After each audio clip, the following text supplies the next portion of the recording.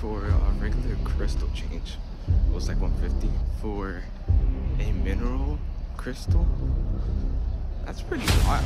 He gave me the other options and just contact and I think I might do that. Today we have a very action-packed day. Today I'm wearing my, uh, I got a class right now.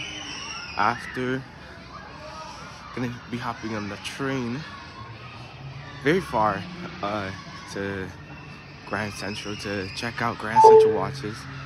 Um, they're a uh, like a repair shop for watches. All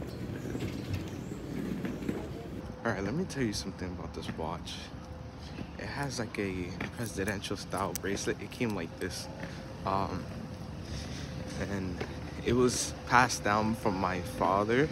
I mean, obviously my father's still alive.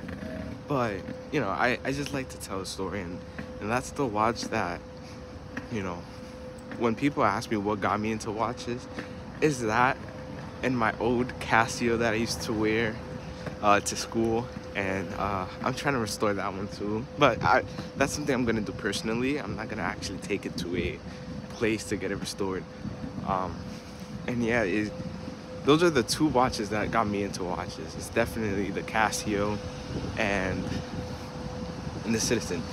Because when I saw my dad wear it, it was so cool. Like, you know, it, it's like very mafia boss, gold watch. Like, it's something that's very cool and I don't know, man. I, I, I just love it.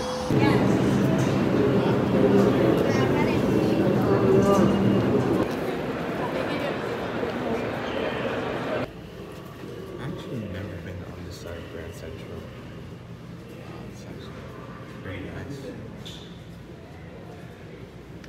So I got an answer for a regular crystal change. It was like 150, like a mineral crystal change. I never serviced a watch, but for a mineral crystal, that's pretty wild, you know. Um, they gave me the other options to just contact sis, and I think I might do that. Uh, so it could be like one to one as it was before, or to see what I could get done.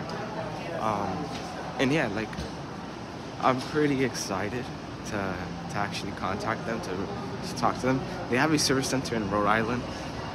I'm not going to Rhode Island. That's like I, that's really far.